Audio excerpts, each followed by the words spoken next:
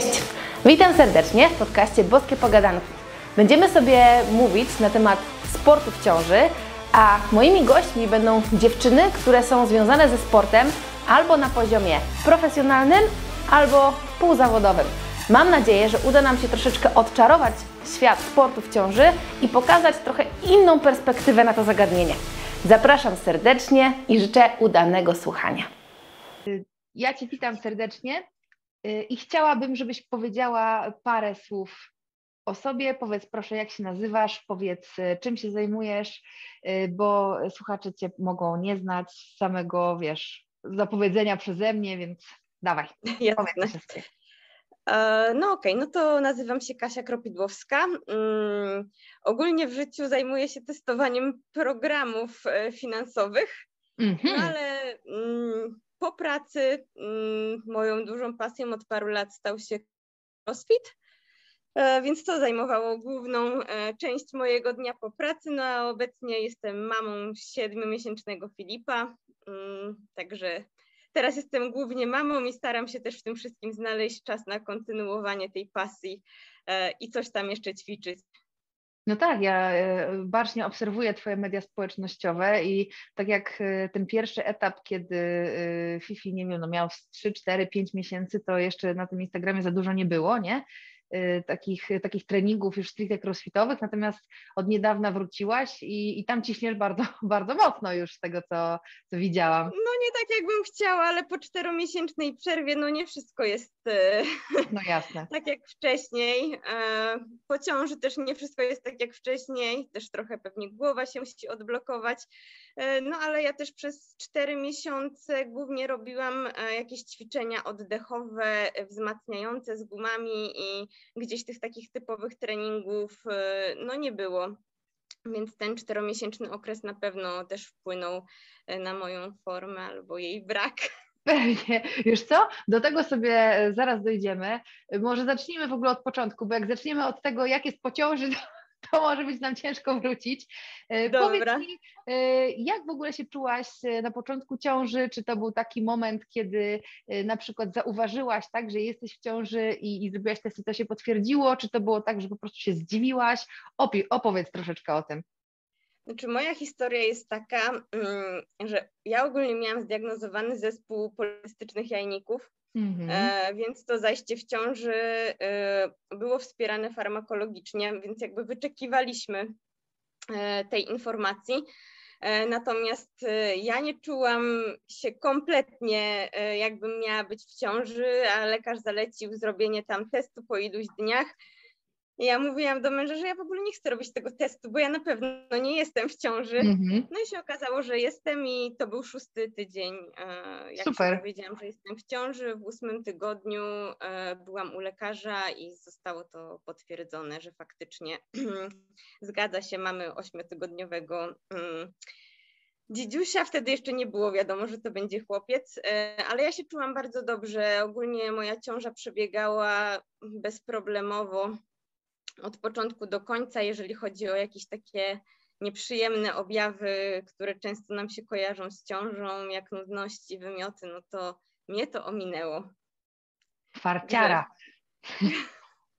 No naprawdę, jedynie miałam jakieś tam trochę bóle brzucha. No jedyne, co mogę powiedzieć, to faktycznie w pierwszym trymestrze byłam bardzo zmęczona. Robiłam drzemki w ciągu dnia, gdzie normalnie mi się to nie zdarza. Mhm. E, ale poza tym czułam się y, naprawdę dobrze z tego, co wiem, jak y, niektóre koleżanki czasem opowiadały, jak one się czuły w ciąży, no właściwie, że tak powiem, e, przyklejone do muszli, Mhm. to no ja miałam to szczęście, że y, ominęła mnie ta część i czułam się naprawdę dobrze.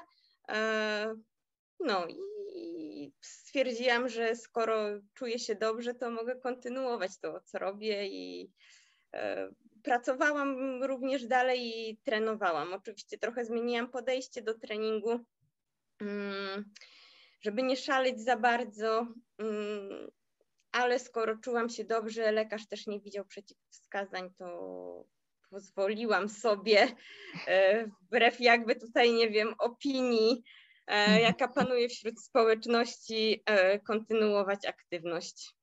A powiedz mi, masz trenera, chyba masz trenera, nie? Który cię, cię prowadzi. Mieliście też współpracę przez cały okres ciąży, czy tam bardziej się zdałaś na siebie?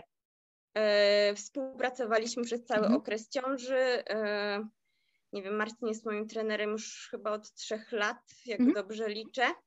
E, więc jak byłam w ciąży, no to nasza współpraca prawie dwa lata już trwała. Jakby to jest osoba, której ufam i znamy się osobiście, więc dla mnie też ważne było to, E, że mamy te komunikacje i ja w każdym momencie mogę powiedzieć na przykład, że to ćwiczenie sprawia mi dyskomfort i wtedy robiliśmy jakieś podmiany albo łatwiejszą wersję, albo w ogóle rezygnowaliśmy z tego ćwiczenia, jeżeli no, nie było jakiejś opcji zamiany powiedzmy. E, Jasne, Także... bo dużo, dużo dziewczyn e, generalnie ma tak, że na przykład na swoją rękę, nie, ćwiczy patrząc e, na przykład na to, co jest w boksie, na zasadzie wiesz, że przychodzisz na zajęcia, widzisz rozpiskę, no i wtedy wiesz, stoisz mhm. przed tą tablicą i rozkminiasz, nie, co byś tam mogła, a czego nie. A były jakieś ćwiczenia, które na pierwszym etapie już eliminowaliście, zanim jeszcze miałaś brzuch? Zanim e, tak, znaczy ja ogólnie miałam dość późno brzuch, więc już no tak, rzeczy zanim się pojawił, musieliśmy wyeliminować. E, jakby pierwsze, co ja zauważyłam, mm, bo też od razu nie powiedziałam, że jestem w ciąży. Oczywiście chciałam najpierw mieć wykonane wszystkie badania, potwierdzić, że wszystko jest dobrze, że dziecko jest zdrowe. E, więc, e, no jak powiedziałam o ciąży, to był tak gdzieś koniec drugiego miesiąca chyba. E, i zauważyłam dyskomfort e, bardzo wcześnie już przy sneczach. Ogólnie e, robiłam je, no bo jeszcze nic nie mówiłam, ale już nie nakładałam tyle ciężaru co zwykle, bo czułam takie ciągnięcie w brzuchu. I też gdzieś w trzecim miesiącu, jak robiłam stricte pull-upy i masy-lapy, to mhm. też czułam to ciągnięcie i zrezygnowałam z tego no, na rzecz ring rowów głównie. Właśnie to, to jest ciekawe, nie? Jak bardzo w ciąży zaczynasz czuć to, jak mocno musisz angażować brzuch i on ciągnie przy wszelkiego rodzaju pulach, nie? W górę. Tak, tak. I dla mnie to było w ogóle, ja w pierwszym momencie, jak mi się to pierwszy raz przydarzyło, to chyba właśnie było przy podciąganiu, e, przy, nie wiem, pulapach albo przy czestach i czułam takie rwanie w brzuchu, że się przestraszyłam, że coś się stało, no bo pierwszy raz byłam w ciąży, nie wiedziałam, co jest dobrze czuć, a co już jest nie okej. Okay. Mm, ale myślę, że też ćwiczenie przez te kilka lat y, daje nam takie poczucie trochę znajomości y, swojego ciała. Także y, po prostu zeskalowaliśmy to i już było wszystko, wszystko w porządku. I myślę, że to były dwa pierwsze ćwiczenia, z których zrezygnowaliśmy. Snecze sztangą i wszelkiego typu podciąganie siłowe. Mhm. Dla mnie w ogóle to, e, to jest fascynujące, że na dobrą sprawę wszelkiego rodzaju keeping czy butterfly, on w zasadzie, jeżeli pracujesz nad elastycznością tego brzucha, to to nie jest aż tak duży problem przez jakiś czas jeszcze, nie? Że tam na przykład część dziewczyn wyrzuca go powiedzmy, nie wiem, w czwartym, w szóstym. Ja pamiętam, że ja robiłam prawie do końca e, butterflyem pull-upy. Oczywiście już nie, nie bary, bo nie dociągałam do drążka wiadomo, ale, ale jakby nie był to aż taki duży problem, natomiast e, wszelkiego rodzaju właśnie to budowanie napięcia, nie? tam gdzie masz to hollow body, to jest po prostu masakra. To jest taka rzeźnia, tak, że... E, ja też jeszcze używałam e, butterfly'a, nawet jeszcze toast bary robiłam chyba tam w czwartym miesiącu i mhm. czwarty miesiąc był taki, gdzie stwierdziłam, dobra, może już też ten brzuch się tam jednak pojawia pomału i pamiętam, że rezygnowałam gdzieś z tego w czwartym e, miesiącu, ale faktycznie mogłam dłużej e, używać gdzieś tych ruchów typu keeping niż mhm. same siłowe podciąganie. Ja w ogóle osobiście mam wrażenie, że to zachowanie tych toastubarów, czy w ogóle te, te, tego ruchu takiego, no jakby nie patrzeć, tak trochę rwanego, szarpanego, pozwalał na takie trochę jakby zachowanie tej elastyczności tej tkanki, ze względu na to, że jednak pracujesz w dużej amplitudzie ruchów, nie? I mimo, mhm. że ten brzuch trochę pracuje przy toastubarach, to jednak to nie są stricty, to jednak używasz tam dużo rąk, dużo używasz najszerszego grzbietu i przez tą dynamikę nie musisz aż tak mocno się spinać, nie? Y, no, tak. no, no, ale jednak najbardziej no masz rację, jak ten brzuch zaczyna rosnąć, no to to wiadomo, trzeba po prostu w pewnym momencie sobie... No, balans ciała no. też się zmienia. Tak, Tak, tak, ja na tak. przykład, nie wiem, w piątym miesiącu chyba odkryłam, że e, właśnie już mi jakoś w staniu e, na rękach, nawet jak do handstand push-ups przy ścianie, to brakowało mi balansu e, jakoś, nie wiem, stricte zaczęły mnie właśnie tak w piątym miesiącu chyba przerastać i stwierdziłam, nie wiem, gdzie jest mój balans do góry Mhm. nogami, to już w ogóle był dla mnie hardcore, także ja widziałam, że ty w ogóle na rękach jeszcze do końca chodziłaś. Tak, nie, dla mnie, dla mnie to była w ogóle rewelacja, bo przez to, że ten brzuch mi zaczął rosnąć, to robił mi przeciwwagę dla nóg, nie? Ja sobie po prostu chodziłam i jedyne, co akurat mi przeszkadzało, to było ciśnienie, które mi ucisk y, robił, nie? Tego Mhm. brzucha, wiesz, na przeponę, ale tak to mogłam ganiać tu jedną w jedną stronę, tu w drugą stronę i jedziesz, nie? Nie, ja czułam tak właśnie w piątym miesiącu, że gdzieś tam tracę równowagę. Już nie pamiętam dokładnie, jak to było, bo to musiało być gdzieś z Mhm. rok temu. e, Jak zrezygnowałam wtedy właśnie z, z HSPU, ze striktów, ale właśnie to było dla mnie takie zdziwienie, bo robiłam je w miarę regularnie i któregoś dnia, jak chciałam się przerzucić po prostu, to już coś było nie tak, że musiałam na dwa razy, bo nie doleciałam do ściany. Mhm. A miałaś na przykład takie momenty, że miałaś e, tak duży problem z koncentracją, jakbyś zapominała na przykład ruchu w niektórych ćwiczeniach? Ja na przykład e, powiem Ci o co mi chodzi. E, Miałam na przykład tak, że jak pracowałam jeszcze na linie albo na ring muscle upach, to miałam coś takiego, że stałam i się zastanawiałam, co ja miałam zrobić, że jakoś w ogóle wysoko i, i, i w ogóle jakoś tak się niebezpiecznie zaczynam czuć w tym, nie? Na zasadzie wiesz, że nie wiesz skąd jakby pojawia się taka obawa przed tym, co możesz Obawa. zamiar zrobić, no. E, Ja tak chyba nie miałam, dlatego że ja ogólnie zrezygnowałam e, w sumie z rope climbów. E, Powiedzmy, że posłuchałam się lekarza, który Mhm. mówił, że wszelkich rzeczy, które mogą prowadzić do upadku i tak dalej, e, unikać i ja faktycznie gdzieś tam w tym drugim, trzecim miesiącu z rope climbów zrezygnowałam, chociaż ubolewam, bo lubiłam bardzo. E, Tak. I pamiętam, że ostatni raz właśnie robiłam w ciąży, jak jeszcze nikt nie wiedział, że jestem w ciąży, bo robiłam z kolegą workout, który miał w sobie linę i zrobiłam go. E, Ale potem już wiem, że nie, nie robiłam. E, Ale faktycznie jest chyba coś takiego, że mm, jak coś się wiązało z jakimś ryzykiem, to już nie czułam się e, psychicznie e, komfortowo, no Mhm. bo jednak e, jak jest, byłam sama, nie w dwupaku i coś by mi się stało, no to stałoby mi się i jakoś bym to przeżyła. Tutaj jednak mogło się stać e, tej małej istocie coś jeszcze, tak, a Mhm. no życie jej zależy od ciebie, więc to sobie chyba by człowiek nie wybaczył, więc e, pewnie jakoś ostrożniej nawet e, teraz chyba jako mama e, ostrożniej podchodzę do niektórych rzeczy. E, Jak czuję, że coś jest dla mnie takie bardzo ciężkie, że nie wiem, czy się coś nie stanie jeszcze z tą blizną, czy coś, to chyba aż tak nie cisnę, bo jednak wiem, że ktoś na mnie w domu czeka, kto, no zależy ode mnie jednak. No tak, jakby nie patrzeć, od wielu, od, no może nie od wielu, ale już od kilku ładnych miesięcy, e, no jesteś potrzebna po prostu, nie? Tak, tak. I to jednak jest takie no, poczucie odpowiedzialności, tak, że, że trzeba jednak o siebie też zadbać. Znaczy wiadomo, zawsze trzeba o siebie dbać, ale jednak jest chyba większa skłonność do ryzyka, jak jeszcze y, tego dziecka nie ma. Tak, to mi na przykład rodzice zawsze powtarzali z jazdą samochodem, bo ja raczej mam troszeczkę cięższą nogę i lubię e, dość agresywnie jeździć. Natomiast no faktycznie jak e, pamiętam, jak e, wsiadłam pierwszy raz do samochodu, bo też nie, nie jeździłam parę tygodni po, po, po porodzie, i wsiadłam pierwszy raz do samochodu, miałam gdzieś zawieźć córkę, to byłam taka, ojej, nie, Boże, ile tu się dzieje, nie, no w ogóle, spokojnie. No, człowiek troszeczkę inaczej y, niektóre rzeczy postrzega, jak już jest dziecko. W sensie wydaje mi się, że zauważamy y, takich rzeczy, na które byśmy wcześniej też nie zwrócili uwagi po prostu. No tak, no poza tym, wiesz, ty jako mama, jeżeli y, widzisz, y, jak bardzo dziecko jest od ciebie zależne i jak bardzo na ciebie cały czas czeka, no to zupełnie inaczej na to patrzysz, nie? Bo jeżeli dziecko, nie wiem, nie będzie widziało przez tydzień dziadków, no to nic się nie stanie, nie? Natomiast jeżeli nie będzie ciebie widziało przez cały dzień, na przykład, albo nie wiem, na przykład miałoby cię przez weekend cały nie zobaczyć, no to to już jest masakra, nie?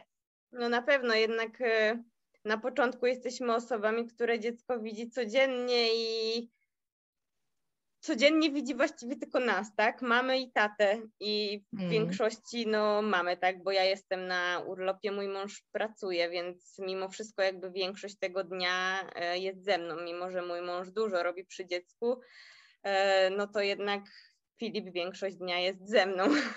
No tak. Także pewnie byłby lekki szok, że gdzie jest mama, Mhm. jakby nagle coś się stało, no odpukać.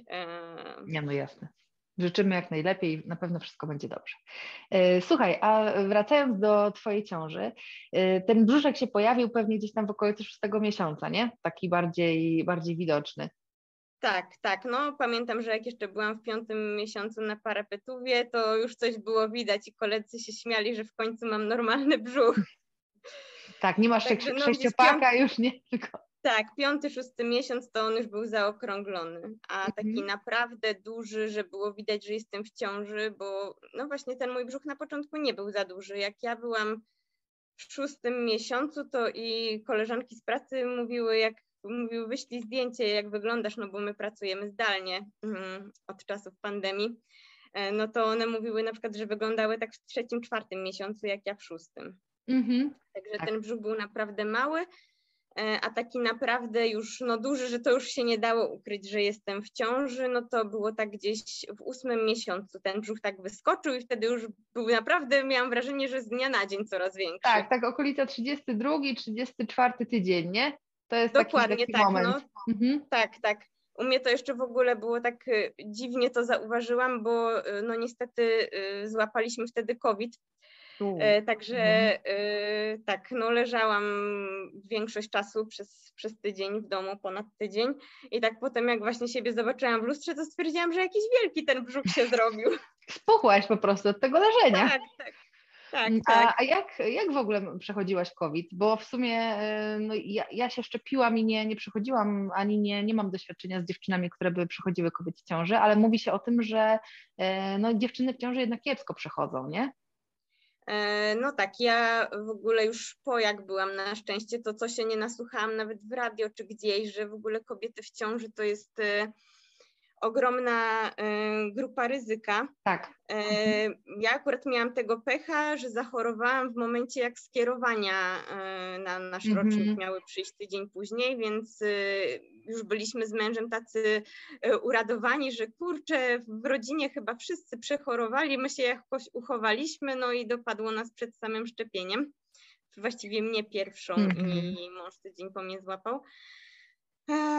I tak, e, no ja w porównaniu do e, Dawida, do mojego męża, e, no przeszłam, nie chcę powiedzieć ciężko, bo to nie był żaden stan, który wymagał hospitalizacji czy coś w tym stylu. Natomiast no to było takie coś na pewno mocniejszego niż przeziębienie i bardzo długo u mnie to trwało. Tak jak zazwyczaj ludzie mówią, że po pięciu dniach się im polepsza, to mi się Mhm. zaczęło pogarszać. Mhm. Miałam przez pierwsze pięć dni takie przezi- no, przeziębienie, katar, spływało mi i tak dalej. Wiadomo, w ciąży niczym sobie za bardzo człowiek nie ulży, No bo tak. możesz wziąć tylko paracetamol, a też Mhm. raczej jestem taka, że jak nie muszę, to po co mam się faszerować? Tak. I też nie za dużo tego paracetamolu. Tak, e, więc nic nie brałam i ja po pięciu dniach zaczęłam gorączkować, e, no tak do 38. E, no i właśnie ten paracetamol wtedy brałam, no bo miałam gorączkę. W ósmym tygodniu byłam, mówię, matko, może jeszcze urodzę, w, ós- w ósmym miesiącu, przepraszam. E, I nic ten paracetamol nie pomagał. Właściwie na początku ta temperatura mi rosła, y, zanim zaczęła spadać, także mąż mnie ręcznikami okładał i ta temperatura 38 stopni mi się utrzymywała z 5 dni. Bardzo długo. Także y, tak, no do samego końca i ja byłam właściwie taka chyba bardziej niż fizycznie, chociaż fizycznie też, bo plecy bolały i byłam taka, że większość dnia spałam, co jest w ogóle do mnie niepodobne. E, ale ja byłam psychicznie zmęczona tym e, COVID-em, bo ja się po prostu bałam, no, że coś się z tą ciążą stanie i Mhm. przeżywałam już bardzo, że kurczę, jesteśmy już właściwie na samym końcu, zostały dwa miesiące e, do rozwiązania tak naprawdę i jakby się teraz coś miało stać, no to nie wiem, co bym zrobiła. No oczywiście, No, ale na tak. szczęście wszystko się tak, na szczęście wszystko się dobrze skończyło. Ja nie miałam kompletnie apetytu. E, podczas choroby, y, więc właściwie jadłam tylko z rozsądku i to tylko dlatego, że mąż mnie wołał o 17, chodź w końcu zjeść obiad, bo ja mogłam od rana nic nie jeść. E, I to było tak, że zaraz po poszłam na kontrolę, no i na szczęście z małym było wszystko dobrze. Mało tego, ja schudłam podczas tego COVID-u, a on pół mm -hmm. kilo przymasował. A, także okay. chyba po prostu wszystko, także po prostu wszystko, co chyba ja jadłam, no to mm -hmm. on to mhm. wszystko brał ode mnie. Mm -hmm. No, to jest, to jest generalnie ciężki temat, zwłaszcza, że mówi się dużo o tym, że w ciąży nie możesz się przegrzewać, nie? I generalnie nie wychodzić tak. na słońce, uciekać od sauny. Te treningi też nie powinny być takie, że tam długo jakoś przebywasz na przykład w tak, tak, że, cieple, nie? No, że jakieś długie, wysokie tętno przez długi czas mhm. i tak dalej.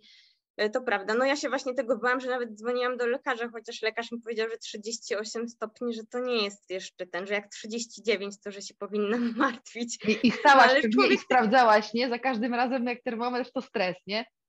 Tak, no bo człowiek nie wie, pierwszy raz jest w ciąży, no ja też nie jestem raczej osobą, która często choruje, gorączkować tak sama z siebie to w ogóle nie wiem kiedy, bo raczej jak się człowiek przeziębi, to może ma stan podgorączkowy i to wszystko.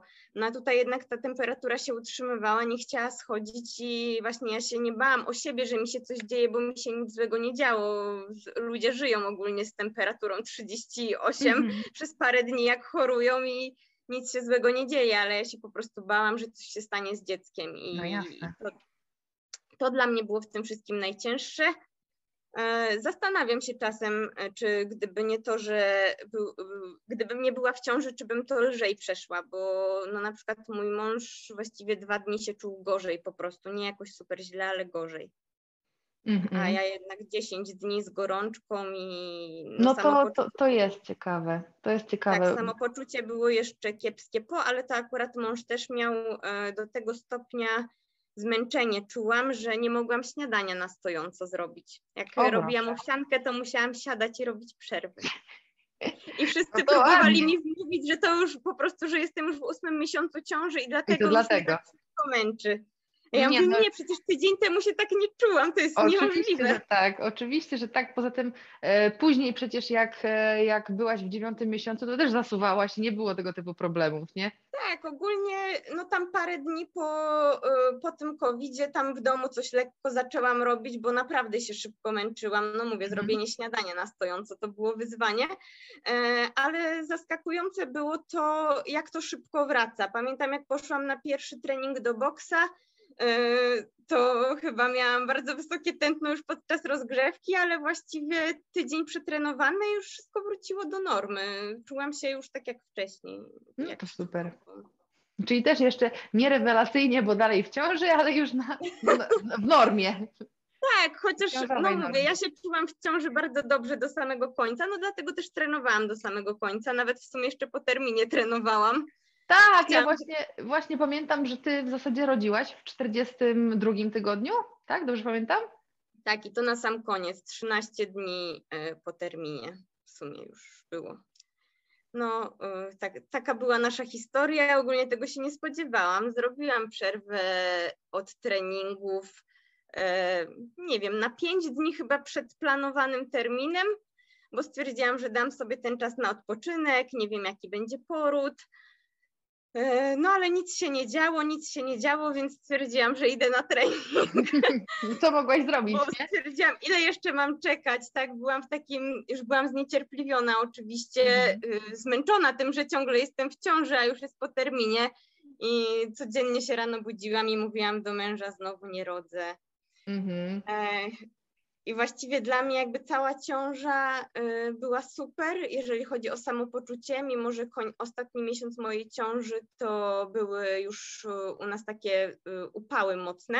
Mhm. I wszyscy mówili, e, znajomi, którzy gdzieś tam mieli żony albo które podczas lata były w ciąży, że o jak współczują, że się tak męczyły i w ogóle. A dla mnie to nie było jakieś uciążliwe, ale ja też jestem ciepłolubna E, nie miałam żadnych, e, nie wiem, puchnących nóg i tak Właśnie dalej. miałam o to zapytać, bo e, myślę, że wielokrotnie słyszałaś o tym, że dziewczyny w ósmym, czasami nawet właśnie w ósmym czy pod koniec siódmego miesiąca, to tak, ani wejść w swoje buty, nie? I wszystkie kupują kroksy albo kalosze, w zależności od tego, jaka tak, jest albo rozmiar roku. większy buty. Tak, dokładnie, żeby przejść te, te, te ostatnie tygodnie.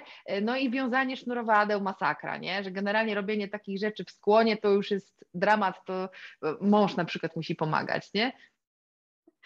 No, y, też słyszałam takie opinie, y, też nawet w rodzinie oczywiście, gdzieś tam pokolenie wyżej czy dwa, na przykład w ogóle moja babcia, Mhm. y, jak widziała, nie wiem, chyba byłam w szóstym miesiącu, że usiadłam na podłogę wiązać buty, bo mi tak było wygodniej, jak, niż tam się schylać przez ten brzuch. Mogłam się schylić, bo do samego końca właściwie, no jak tam się rozgrzewałam, to gdzieś robiłam skłony na rozgrzewkę. Oczywiście, że tak.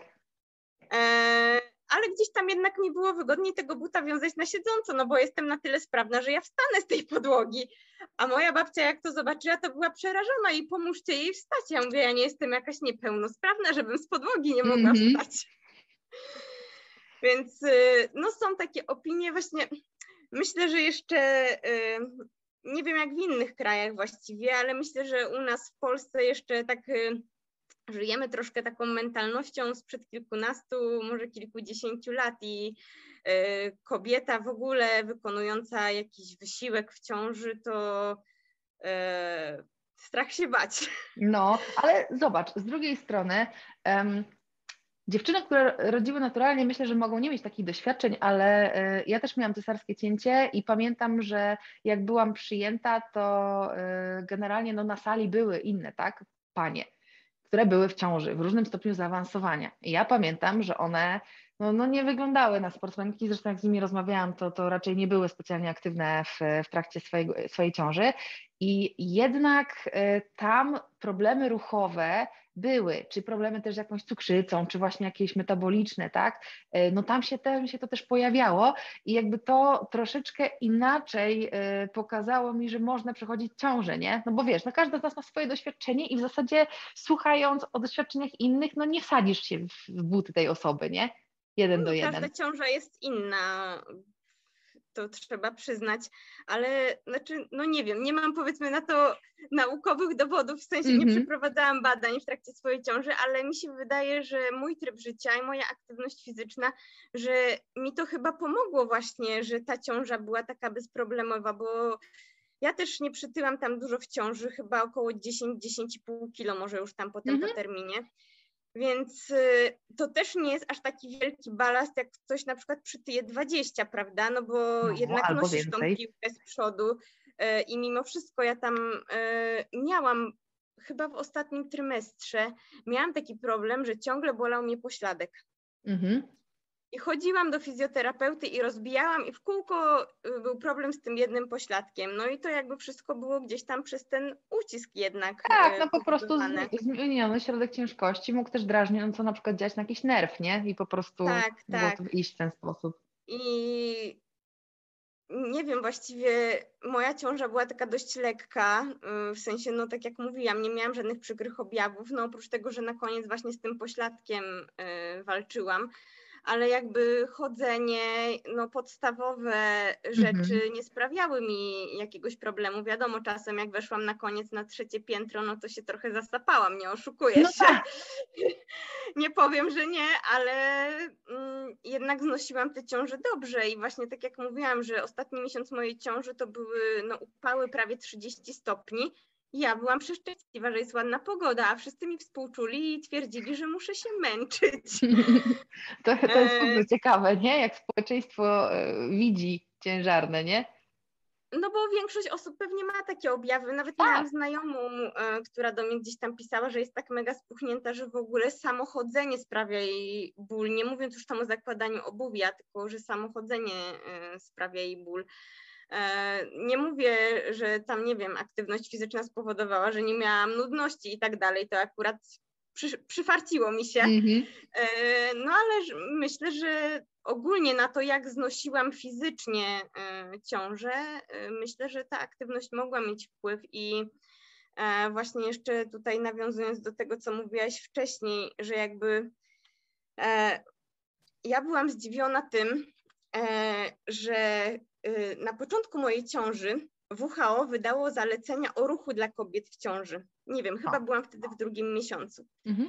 I mnie zdziwiło to, mam nadzieję, że teraz nie skłamię, że to było chyba po raz pierwszy w ogóle, że WHO wydało jakieś zalecenia o aktywności dla kobiet w ciąży, że wcześniej w ogóle gdzieś to nie było wymieniane. I tu to, co ty mówiłaś, że y, jest chyba udowodnione właśnie, że zmniejsza ryzyko y, cukrzycy ciążowej, tak. otyłości w ciąży i tak dalej. Mhm. Więc jakby dziwi mnie to, że no mamy XXI wiek i dopiero półtorej roku temu Światowa Organizacja Zdrowia wydaje takie zalecenia, więc no nie dziwię się, że społeczeństwo nie jest wyedukowane, no bo nie, nie musi być, że tak powiem, tak? No bo jeżeli ktoś się nie interesuje sportem i tak dalej, prowadzi trochę inny tryb życia, to może po prostu też nawet nie być świadomy. I myślę, że stąd mhm. może też wynikać to, jak patrzymy E, na aktywność w ciąży. Mówimy nie dźwigaj, nie rób tego, tamtego i tak dalej, że nawet, nie wiem, siatkę z zakupami najlepiej, żeby człowiek nie tak. Tak, dla mnie wiesz co w ogóle fascynujące jest to, że no bo jeżeli spojrzysz na przykład na wytyczne, które są e, podawane przez Polskie Stowarzyszenie e, Ginekologów i Położników, to tam nie ma tych informacji za bardzo, nie? które gdzieś tam z zachodu już do nas docierają, e, bo ja dość dużo czytałam na ten temat w momencie, kiedy pisałam książkę i też jak sama zaszłam w ciążę, chciałam wiedzieć, jak to wygląda. Są nawet rekomendacje dotyczące wysiłków wydolnościowych, w jakich strefach tętna ta ciężarna może pracować. Także, że oni raz, że mówią, że powinno się trenować, jeżeli już trenowałaś, a dwa, że na dobrą sprawę, jeżeli nie trenowałaś, to powinnaś zacząć, niezależnie od tego, w jakim momencie ciąży jesteś, nie? Tylko znowu, to nie jest tak, że teraz masz iść na krosa pięć razy w tygodniu i jazda ogień, no nie? Tylko oni mówią, dobra, zacznij od 15 minut na przykład jakichś żwawych marszów, a potem sobie zwiększ do 45 minut dziennie, nie? I dla, dla takiej przeciętnej osoby, która nie ma tej aktywności fizycznej dużo na co dzień, jest to jak najbardziej y, już wyczerpujące na, na, w takim stanie no fizjologicznym to będzie różnica na pewno dla kogoś, kto mhm. się w ogóle e, nie rusza. No i właśnie mnie to zdziwiło, że e, dopiero gdzieś tam pierwsze rekomendacje zostały wydane w 2020 e, roku i one też tam chyba mówią, że oni akurat tam chyba rekomendują 150 minut tygodniowo, przynajmniej to jest pewnie 150 mhm. minut tygodniowo. chyba no nie intensywnego takiego wysiłku, tak. ale no takiego umiarkowanego mhm. aerobo, aerobowego. E, także są jakieś tam rekomendacje, właśnie też mówią, że jeżeli prowadziło się aktywny tryb życia przed to, żeby kontynuować tę aktywność, jeżeli oczywiście no, nie ma przeciwwskazań, tak, no bo tu już y, jeszcze wchodzi ta druga część, że mm, no jasne, nic się tam nie może złego dziać, wiadomo, nie? Wszystko jest w granicach rozsądku. No jasne. E, ale właśnie e, do czego zmierzałam, że ludzie chyba nie mają takiej świadomości, dlatego że nie ma właśnie tej edukacji, też chyba nigdzie się w sumie o tym nie mówi i skąd ludzie mają wiedzieć? Jak człowiek pójdzie do lekarza i jest w ciąży, to yy, nie wiem, mam nadzieję może, że są tacy lekarze, yy, ale podejrzewam, że jest ich mało u nas w kraju, który powie, powinna pani zacząć ćwiczyć, jeżeli pani nie ćwiczy. Mm-hmm. Poza tym, wiesz, no, y, to jest jedna rzecz, a druga rzecz, jeżeli już ćwiczysz, to często ci mówią przestań, nie? I, ta, i o, jakby no to, to działa w, w, dwóch, w dwa kierunki, nie? Że jeżeli się nie ruszasz, dobra, to się nie ruszaj, byleby nic, bo nic się niestety nie stanie, a jeżeli już się ruszasz, to weź się tak dużo nie ruszaj, bo może ci się coś stać. Także no, tak. No, ciężko, no, brakuje nie? jeszcze, właśnie jak byłam w ciąży, to miałam taką rozkminę, że kiedy, w sensie za ile lat y, będziemy na takim etapie, gdzie przez społeczeństwo to będzie postrzegane jako normalne, że w sumie kobieta w ciąży może robić, no powiedzmy, wszystko, e, o ile no, nie zagraża to jej dziecku i, i no, czuje się dobrze, tak? No, no, no, nikt nie mówi, że ma jeździć na przykład na desce snowboardowej, nie? W siódmym miesiącu, no bo to, to faktycznie mogłoby, mogłoby się wtedy coś stać, to jest duże ryzyko, albo nie wiem, uprawiać sztuk walki, nie? Bo tarzanie się z kimś na, na macie już faktycznie mogłoby spowodować jakiś problem, no ale wykonywanie generalnie w jakiejś tam częstotliwości skurczów serca pracy, która jest bezpieczna, no dlaczego nie, nie? Tak. Słuchaj, chciałam, chciałam Cię jeszcze zapytać, bo mówimy teraz o tym, jak e, gdzieś tam Twoi znajomi, Twoje otoczenie e, ustosunkowało się do tego, jak powinnaś przechodzić ciążę. Powiedz mi, jakie były reakcje na to, jak ćwiczysz, no bo jednak wrzucałaś troszeczkę tego do mediów społecznościowych. Jestem przekonana, że miałaś bardzo różne odpowiedzi na to, co pokazujesz. To prawda. Myślę, że też tak trzeba trochę, nie chciałabym dzielić, ale tak trzeba mhm. podzielić chyba trochę społeczeństwo na to ćwiczące gdzieś tam z otoczenia z boksa, a to nie mhm. ćwiczące, no bo jednak e, mamy znajomych takich i takich. Mhm. E, I e, jakby w boksie to było chyba takie dość naturalne, że dalej trenuję, chociaż no im większy ten brzuch był, tym coraz większe Bo wreszcie było widać, nie? Bo tak to ludzie nie widzieli, że jesteś w ciąży, a jak ten brzuch ci tak wyskoczył, to było, o Boże, ona faktycznie jest w ciąży. Tak, tak, więc jakby im dalej, im bliżej terminu, to wiadomo, nawet koleżanka jakiś czas temu mi mówiła, że y, podobno ludzie się bali, że urodzę w boksie. A tak, to ja to słyszałam już tysiąc razy. Jak robiłam cośkolwiek ze sztangą, to było dobra, zaraz tu urodzisz, mamy nadzieję, że jest na sali lekarz, nie? Ja tak, hmm, ej, ludzie, spokojnie. No, mm, właśnie to tak jest chyba, że ludzie myślą, że jak wysiłek, w sensie dźwiganie ciężarów, to że faktycznie ta akcja porodowa będzie zaraz. I to moja mama tak mi mówi, ale ty chyba nie dźwigasz. Ja mówię, mama, dźwigam, no wiadomo, no nie tyle co wcześniej, ale mhm. robię, tak? E, I pamiętam, jak byłam na początku dziewiątego miesiąca, akurat była jakaś e, para w boksie, którzy nie byli ogólnie od nas z boksa, tylko pewnie, nie wiem, sezon wakacyjny i mhm. wpadli. Mhm. I podeszli do mnie na koniec i się pytali, w którym miesiącu jestem. Mhm. No i mówię, że zaczynam dziewiąty, to byli w szoku, ale powiedzieli, że super i że w ogóle wow, że się jeszcze tak ruszam. E, no natomiast jeżeli chodzi o część moich znajomych, którzy jakby nie są aktywni fizycznie i tak dalej, to faktycznie y, na Instagramie miewałam takie odpowiedzi e, y, typu czy to jest bezpieczne, e, mhm. albo czy mnie nic nie boli i tak dalej. Więc no Tutaj mi się wydaje właśnie jest ta kwestia jeszcze tego, że nie jesteśmy tak e, do końca świadomi, ale ja zawsze podkreślałam, no, że to nie jest tak, że ja teraz przyszłam w siódmym czy w ósmym miesiącu i postanowiłam wziąć sztangę do ręki i robić przysiady. Mhm. E, tylko robiłam to dużo wcześniej i jakby proporcjonalnie ten ciężar nie jest e, jakiś super duży do moich możliwości, które mhm. miałam sprzed ciąży i myślę, że jeszcze tego do końca też e, nie rozumiemy. Tak. Jakby e, społeczeństwo ma takie podejście. Ciężary to ciężary i nieważne, tak. że ktoś tam na przykład, nie wiem, powiedzmy dźwigał 100 kilo, a teraz na przykład robi na 50 kilo, więc to jest mhm. jakby 50%, tylko 50 kilo w ciąży, o matko, to dużo. Mhm. Powinnaś podnosić 5, bo 5 jest magiczną, taką bezpieczną liczbą, tak? nie? Ja nie wiedziałam i w ogóle właśnie moja mama do mnie tylko mówiła, ja ty nie ćwikasz, nie dźwigasz, ale potem już chyba trochę wyluzowała, jak widziała, że nic się nie dzieje, że wszystko cały czas jest dobrze. Pamiętam chyba właśnie na początku dziewiątego miesiąca y, byłam na weekend, chyba było Boże Ciało i wzięłam swoje hantelki i jeszcze trening u rodziców w ogrodzie zrobiłam, to już mama nie zadawała pytań. No, tak. Ja myślę, że wiesz, rodzice to w pewnym momencie, jak e, widzą, jak dużo tego, tych treningów jest i w ogóle jak to wszystko się rozwija i widzą też, jak ty się zachowujesz, no bo jednak cię obserwują, no to muszą się poddać w pewnym momencie po prostu. Muszą ci zaufać, nie ma lepszej, e, no, chyba lepszej tak, metody, tak. nie? Chyba tak, ale na początku, no mówię, to było takie panika wręcz w głosie mojej mamy i mówi do mojego męża Dawid, ale ty jej nie pozwól dźwigać, jak powiedzieliśmy mm-hmm. rodzicom właśnie gdzieś tam w drugim miesiącu byłam, a mój mąż się tak patrzy na moją mamę. I to się nie da, no ale też właśnie chyba trzeba y, jakby rozmawiać i tłumaczyć y, to, że, że można i właśnie jaka jest różnica między tymi treningami, no bo jednak jeżeli chodzi o mnie, no to, to nie były treningi na 100% do upadłego, y, jak się no potrafiło trenować wcześniej. To nie był czas na szukanie maksów, y, broń Boże, tylko to był czas taki na dla mnie no na podtrzymanie, tak? Nie wiem, pewnie Mhm. może gdybym nie trenowała wcześniej, no to może by tam coś mi nie zbudowała, e, Tak. ale tak to był dla mnie czas taki e, na podtrzymanie gdzieś tej swojej wydolności e, też.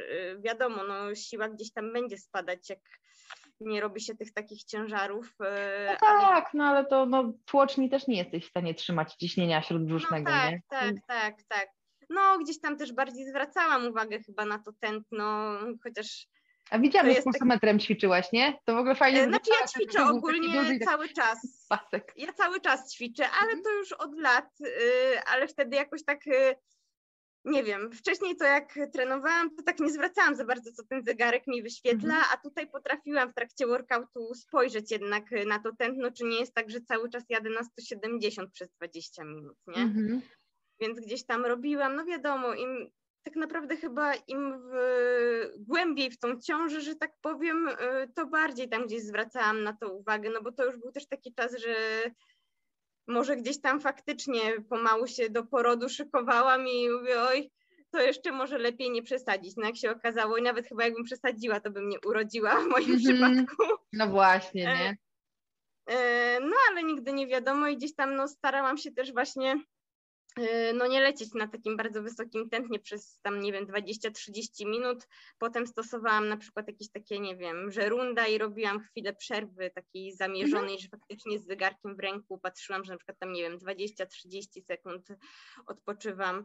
E, No tak jak mówiłyśmy na początku, ja też mam swojego trenera i on też dostosowywał te treningi e, do tego, na jakim etapie ciąży byłam. Tak No naprawdę już tam pod, tak, pod koniec już tam z jakichś takich super intensywnych workoutów to w ogóle, y, znaczy nie, że w ogóle rezygnowaliśmy z workoutów, ale Ja pamiętam, pamiętam, Tak, że tam jeszcze machałaś pod koniec Tak, handelkami. tak, ale nie jest właśnie takie bardzo intensywne y, i tak bardziej, y, no jakieś takie statyczne rzeczy, ale jednak cały czas to był ruch, więc to było fajne. Mhm. A, a w zasadzie y, po porodzie, bo pamiętam, pamiętam e, w ogóle relację, którą wrzuciłaś y, krótko po porodzie, y, gdzie robiłaś ćwiczenia takie, to są chyba przeciwzakrzepowe z tego, co, co pamiętam, nie? No Z zasadzie, że rączkami wiesz, tak, takie- majtanie rączkami, kręcenie żaróweczek, takich różnych, nie, płaszczyznach, Tak. bo, bo za dużo nie mogłaś robić. Jak w ogóle czułaś się po tym cięciu? Jak szybko dochodziłaś do siebie? Em, Właściwie byłam zaskoczona e, tym, że na początku czułam się źle, w sensie słabo. Mm, Nie sądziłam, że to tak będzie. E, Ja byłam wypisana trzy dni, e, tak, trzy dni po cesarce byłam wypisana ze szpitala.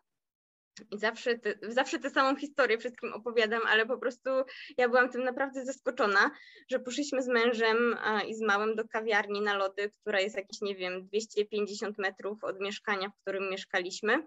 I jak wracaliśmy, to czułam się niepewnie już wracając i musiałam Mhm. się e, przytrzymać e, męża, bo no nie wiem, nie kręciło mi się w głowie, ale jakieś takie miałam uczucie, że te nogi to jakby nie moje. Mhm.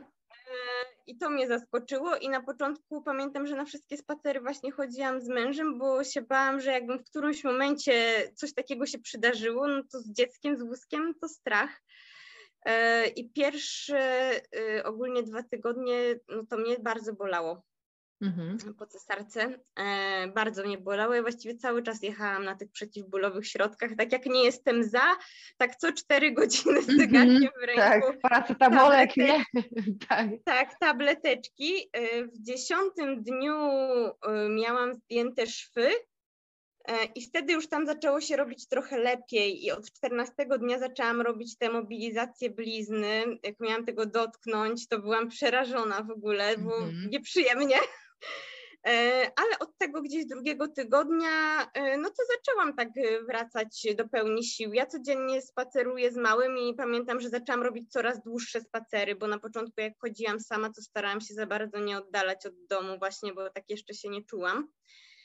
Ale już po tych dwóch tygodniach, jak, wydaje mi się, że dużo tutaj e, do rzeczy miał ten ból tak naprawdę. Wydaje mi się, że też byłam osłabiona taka przez to, że jednak mnie to ciągle bolało. I gdzieś tam po tych dwóch tygodniach, e, jak ten ból e, zaczął znikać e, pomału albo nie być już taki intensywny, no to zaczęłam czuć się lepiej tak naprawdę. Jakieś dłuższe spacery właśnie robiłam, no ja cały czas gdzieś tam z tymi przeciwzakrzepowymi ćwiczeniami oddechowymi, ogólnie starałam się robić to, co mogłam robić tak naprawdę. Yy, ja też byłam pod opieką dwóch fizjoterapeutów, no i gdzieś tam jednak, nie wiem, była trochę frustracja, że nie mam zielonego światła, żeby, nie wiem, iść zrobić trening i tak dalej. Z drugiej strony nie wiem, czy byłabym w stanie zrobić wtedy trening, ale chęci były. Chciał człowiek wrócić do tego, co robił wcześniej. E, no ale ja starałam się robić to, to, co mogłam robić, to, co oni mi pozwalali. Potem właśnie wróciliśmy do, jakiś, e, do jakiegoś wzmacniania z gumami. E, no i tak mijał tydzień za tygodniem, aż gdzieś tam po trzecim miesiącu chyba dostałam jakieś takie pierwsze zielone światło, że mogę pomału się zacząć y, ruszać, y, może nie tam, że intensywnie, ale intensywniej. Mhm. E, i potem e, już takie zielone światło, że naprawdę do wszystkiego mi pozwolono wrócić, no to był czwarty miesiąc i wtedy pamiętam, że pierwszy raz w ogóle wróciłam na, na salę treningową, na siłownię jakąś, że robiłam coś poza domem, bo te wcześniejsze ćwiczenia, no to były wszystkie takie, że tak naprawdę mogłam to wykonywać no tak, domu, ty, tak? Też, ty też masz trochę sprzętu, nie? Zgromadzonego w domu. Tak. Bajkerga widziałam, z tego co pamiętam. Tak, tak, tak, tak. Mamy ogólnie dwa miesiące temu przeprowadziliśmy się do nowego domu, także tu w ogóle jest plan, żeby z jednego pomieszczenia zrobić mhm. siłownię, ale musimy jeszcze nagromadzić sprzętu. Jakoś nie jestem zaskoczona. Ale y, co chciałam powiedzieć, bo no nie wiem jaki, znaczy wiem jaki ty masz tryb pracy, nie wiem jaki ma mhm. twój mąż, ale y, ja i mój mąż oboje pracujemy, no powiedzmy w korpo, mhm. więc gdzieś tam jesteśmy te 8 godzin uwiązani i nie mogę sobie w środku dnia na przykład wyskoczyć, zrobić treningu, no bo muszę czekać, aż mój mąż skończy pracę. E, więc myślę, że ta siłownia w domu to też będzie takie dobre rozwiązanie dla nas, żeby y, móc być więcej czasu razem, no bo mój mąż też trenuje i wcześniej zawsze trenowaliśmy razem, więc to ogólnie był cały nasz plan dnia, że się z pracy zbijaliśmy, jechaliśmy na trening i trening trwał tyle, że wracaliśmy wieczorem. E, no a teraz trochę rzeczy się zmieniły i musimy jeździć na wymianę. Mm, więc jak mój mąż mhm. kończy pracę, to albo on idzie na trening, albo ja. Jedno wraca, drugie jedzie i właściwie jest wieczór, już jest koniec dnia. Także gdzieś ta domowa siłownia to jest na pewno też sposób na to, żebyśmy dla siebie y, tego czasu też no, znowu mieli więcej. No my akurat nie, my, my akurat oboje jesteśmy na działalności, więc yy, Piotrek no, zajmuje się fotografią, więc jak ma zlecenie, to jedzie na to zlecenie, natomiast jak mhm. ma obrabiać, no to wiesz, w jakich godzinach ma ochotę, nie? No Także, właśnie, a tutaj no. tak u nas tak nie do końca, bo no niby jest taka szansa, że sobie na chwilę wyskoczysz z pracy i tak dalej, ale jednak y, jesteś uzależniony też od innych ludzi, masz spotkania i tak dalej, więc gdzieś tam mm, teoretycznie powiedzmy na przykład siódma, piętnasta jesteś w tej pracy i no, lepiej być przy komputerze. tak. A, a powiedz mi e, w ogóle a propos kresy, bo dużo osób, wiesz, zwraca uwagę na, na rozejście, nie? E, u mhm. Ciebie pojawiło się jakiekolwiek rozejście? Znaczy, no pojawiło się takie fizjologiczne pewnie, natomiast jakieś, e, jakiekolwiek problemy? Problemów nie było, aczkolwiek miałam konsultację w szpitalu bodajże to było ze studentką e, fizjoterapii i ona zbadała mi kresę i miałam dość duże rozejście. Mm, chociaż przez pięciu było mniejsze i ona mówi, że to jest dobrze, że to znaczy, mhm. że jeszcze tam się wszystko schodzi, ale to było chyba dwa dni po cesarce. Ojej. No i potem jak, no właśnie, i potem jak rozmawiałam z moim fizjoterapeutą, to on mówił, że na razie tym się nie ma co zajmować, bo że to jest jeszcze wcześnie mhm. właściwie. E, miałam badaną kresę chyba gdzieś potem w 12 tygodniu przez y, moją fizjoterapeutkę od blizny e, i ona mówiła, że y, ogólnie jest super. Mhm. W 12 tygodniu, jak mi zbadała, powiedziała, że jest super, bo mówiła, że jedno miejsce chyba nad pępkiem jest takie, że jakby musiała się przyczepić, to by się przyczepiła. Mhm.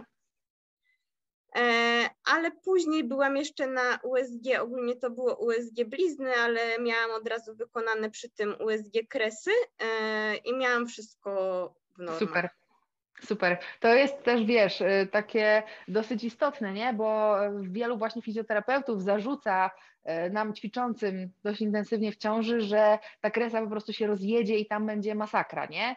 I wiesz, no z jednej strony rozumiem te obawy, bo pewnie jak brzuch rośnie, to, to wielu kobietom jednak y, ta krysa po prostu y, rozjeżdża się i potem już nie wraca, ale z drugiej strony w momencie, kiedy ty tak mocno pracujesz nad uelastycznieniem tej tkanki, chociażby przez to, w jaki sposób się ruszasz, no to jednak jest tendencja też do i rozciągania i do obkurczania. Regeneracji potem. szybszej. Mhm. No właśnie, ja słyszałam różne opinie, yy, że są jakby spory na mm -hmm. temat e, kobiet ćwiczących e, i rozejścia kresy, Właśnie. że jednym się rozchodzi, jednym się nie rozchodzi, w sumie do końca chyba nie wiadomo, chyba nie. jak to jest.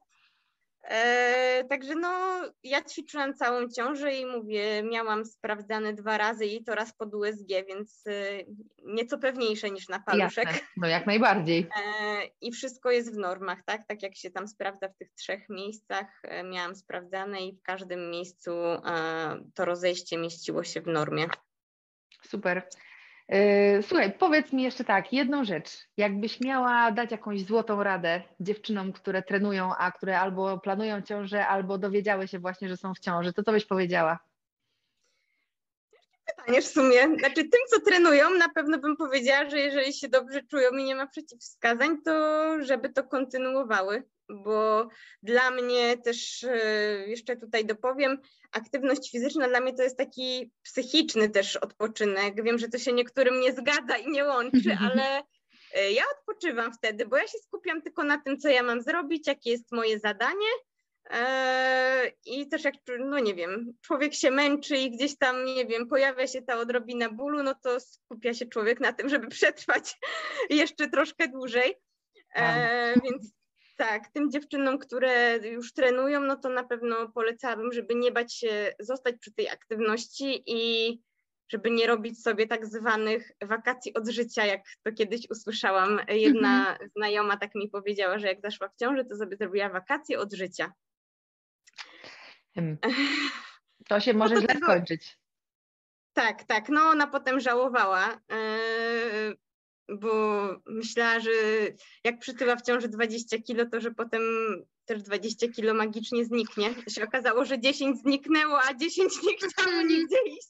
No właśnie. E, znaczy ja też jestem taką osobą, że nie wiem, co miałabym robić siedząc przez 9 miesięcy i no nie właśnie, wiem. to jest fascynujące, nie? Co byś miała robić? Leżeć, oglądać seriale?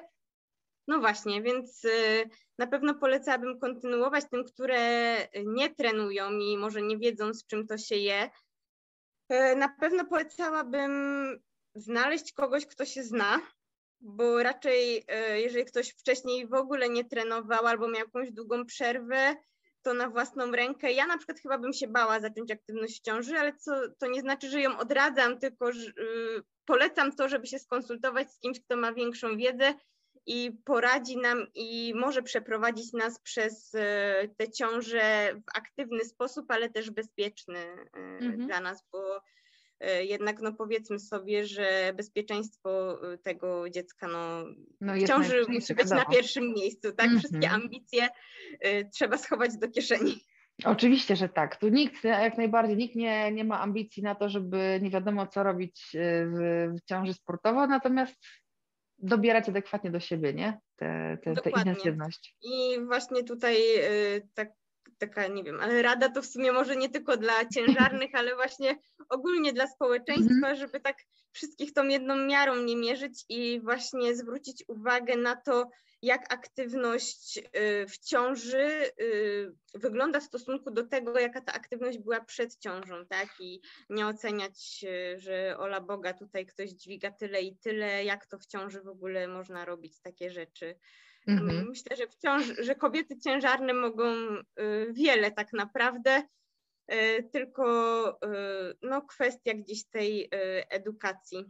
Mhm tutaj jest potrzebna i populacji y, tej wiedzy, dlatego w sumie jak napisałaś y, do mnie, e, czy wzięłabym udział w takim podcaście i że chciałabyś tutaj popularyzować y, i trochę odczarowywać ten temat, to mi się to bardzo spodobało, bo e, myślę, że może wielu kobietom, które planują ciążę albo już są w ciąży, pomóc zdecydować o tym, że jednak będą się ruszać. Tak, wiesz, oprócz tego, że, że właśnie dziewczyny, które, które gdzieś tam są związane tak, z, z tą ciążą, czy są przed, czy są w trakcie, czy, czy, czy po i też by chciały się czegoś więcej dowiedzieć, na przykład na kolejną ciążę, to jedno, ale dwa, żeby też troszeczkę nasze społeczeństwo zrozumiało, że nie jesteśmy tak kruche, jak im się wydaje, nie? Po prostu. Tak, to prawda. A w ogóle tak patrząc z perspektywy matki, to chyba w ogóle nie ma silniejszych osób na świecie. Tak, później, później, później to są doświadczenia spektakularne, zapowiadające mocno w pamięć, y, tak, ale o tym naprawdę. może być kolejny podcast. Y, ale no takie jest życie. Ja ogólnie spodziewałam się tego, że macierzyństwo nie jest łatwą pracą, no bo jednak musisz być dla tego dziecka przez większość czasu i ono cię naprawdę potrzebuje, bo samodzielnie nie jest nic w stanie mhm. zrobić. To muszę powiedzieć, że i tak poziom tego zaangażowania w bycie z tym dzieckiem e, mnie trochę zaskoczył i mówię tu otwarcie, e, nie będę czarować, chociaż uważam, że mój Filip jest w ogóle mało problemowy i E, wiem, że są cięższe dzieci, mhm. E, ale mimo wszystko, nawet jeżeli dziecko nie jest jakieś super wymagające, to musisz z nim być prawie cały czas, tak? Jeżeli nie masz kogoś innego, kto się nim zajmie, to musisz z nim mhm. być cały czas i to jest wymagające, że praca się nie kończy po 8 godzinach. Tak, nie zostawiasz tego, nie? Tak, tylko cały czas jesteś w pracy i naprawdę będę obstawać przy tym, że praca mamy to jest chyba najcięższa praca jednak, jaką mi przyszło wykonywać. No tak, rozumiem. Ale sport też dobrze hartuje, także polecam też z tego względu. To prawda. Słuchaj, dziękuję Ci bardzo za naszą rozmowę. E, życzę wszystkiego dobrego i, i dalszych, dalszych sukcesów e, z maluchem. Widziałam, że i y, widziałam ostatnio w ogóle kolejne zdjęcia i, i na relacjach gdzieś tam się cały czas u Ciebie pojawia. Więc zdrówka dla Was przede wszystkim. Trzymajcie się ciepło i mam nadzieję, że za jakiś czas może spotkamy się na jakichś zawodach. Pewnie nie w Zobaczymy, tym roku. Zobaczymy, jak to będzie.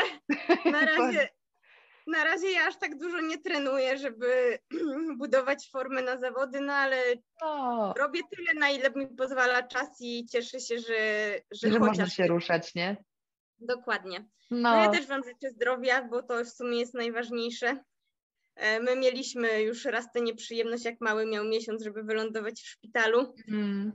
E, na szczęście okazało się, że niepotrzebnie, e, nic tam nie było, ale tak, jednak tak, trzeba było skontrolować i no to był duży stres, także też dla Was dużo zdrowia, no i dużo radości z bycia z małą, bo jednak e, mimo tej ciężkiej pracy to dzieci są rozbrajające po prostu, z czego one się cieszą, co one mają w głowie, to tak. ja nie wiem, ale mnie, nasz Filip nasz bawi cały dzień i naprawdę Dużo się śmialiśmy wcześniej, ale tyle, ile się śmiejemy teraz, to mm-hmm. nie jestem w stanie tego zmierzyć. To prawda, to prawda. Mamy bardzo podobne doświadczenia, także też się śmiejemy wyraźnie więcej. No i super, to jest najfajniejsze i naj, prawie najważniejsze w życiu, tak, zdrowie i właśnie, żeby była ta radość z tego, co, co się robi i, i jak się spędza czas. No, dokładnie. No to co, dziękuję Ci ślicznie. Wracamy ja do swoich bąbelków. teraz za zaproszenie, tak, lecę do mojego bąbelka zobaczyć, co tam się dzieje. Ja też. To pa. Pa. Cześć ponownie. Mam nadzieję, że ten podcast i ta rozmowa, którą przed chwilą usłyszałaś, pozwoli Ci troszeczkę inaczej spojrzeć na cały temat sportu w ciąży. Dziewczyny, które zapraszam, mają wiele do powiedzenia na ten temat. Jeśli pojawią się jakiekolwiek pytania, możesz pisać do mnie na Boska Makowska w każdych mediach społecznościowych albo do dziewczyn. Linki do ich do kontaktu są podane na dole strony.